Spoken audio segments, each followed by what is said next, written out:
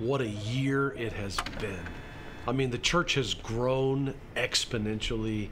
We're seeing new people, lives changed, got a new water fountain in the hallway. I mean, I don't mean to brag, but that's objective.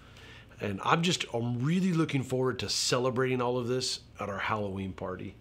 I mean, I, I think about last October, there was no one here. I was in this building by myself every day. I'll be honest, I thought this building was haunted.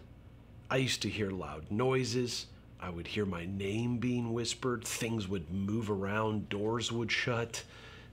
I was so scared, and and come to find out, it was Ken.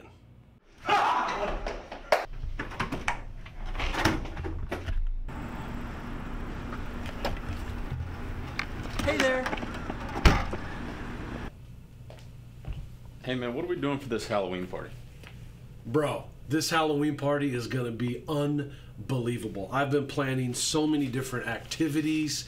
We've got bobbing for apples, going to play hide and go seek, pin the head on the Frankenstein, play tag. It tells scary stories with like flashlights shining up on your face. It's going to be next level. It's going to be unbelievable.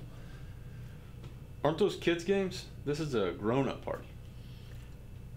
I mean, I know plenty of grown-ups that play tag and tell scary stories with flashlights shining up. I mean, clearly you haven't been to very many good Halloween parties.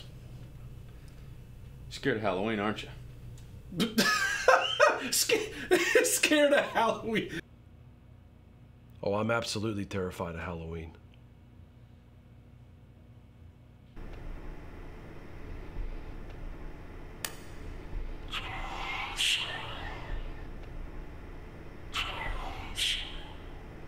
Oh, this building's definitely haunted.